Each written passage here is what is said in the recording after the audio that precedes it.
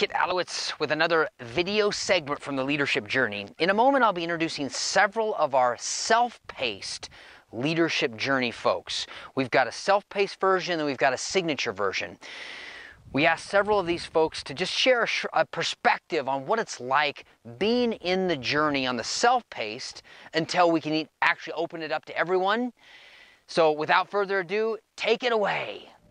So the self-paced leadership journey to me is like anything where you choose to improve yourself, whether it be personally, professionally, um, going back to school, getting another degree, uh, learning a new skill, um, playing a musical instrument, a new exercise routine, anything like that that you have to keep yourself accountable.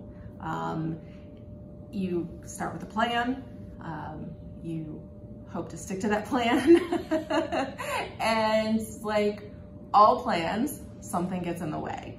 Um, I, I, started the self-paced leadership journey in March and uh, I think it was March.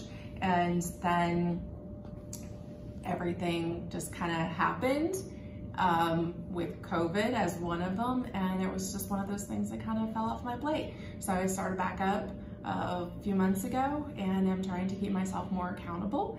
Um, with that, it is a little difficult going through some of the PowerPoints and trying to take from them everything that is intended.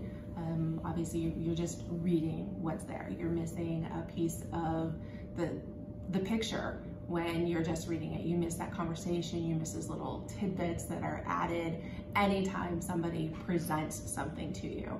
Um, you know, I, I typically use PowerPoints as just as notes and there's more that I add to it whenever I'm presenting it. So therefore, you don't get that in a self-paced leadership journey, even with uh, holding each other accountable and having our weekly sessions or bi-weekly sessions.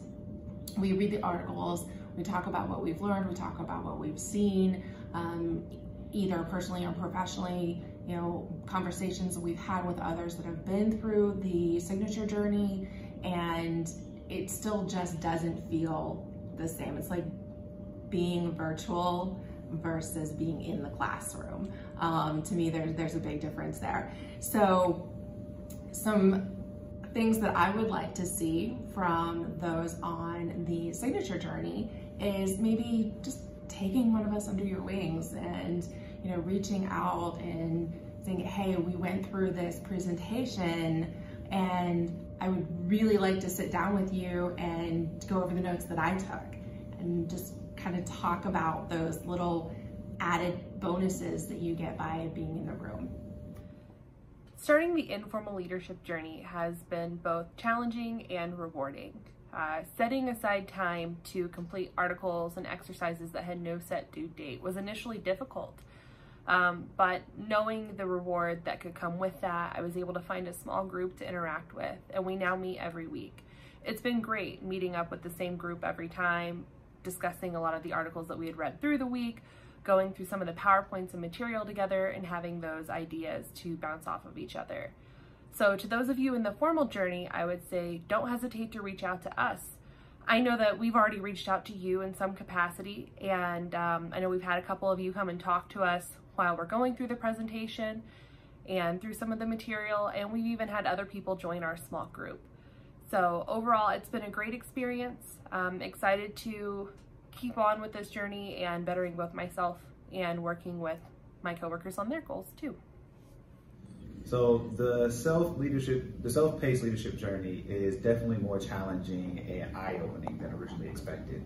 Um, I would say what's most interesting about it is you have to be more so intrinsically motivated and willing to apply the principles to yourself rather than having a big group to be that external motivating factor for you to take on those lessons. Um, secondly, I would remind the people of the signature leadership journey to engage with anyone about conversations that the principals have maybe given them. Um, it's not really easy for someone in the self-paced leadership journey to see who is in it or not. So being more public about their involvement and their leader, uh, their learning opportunities while doing so would be greatly appreciated.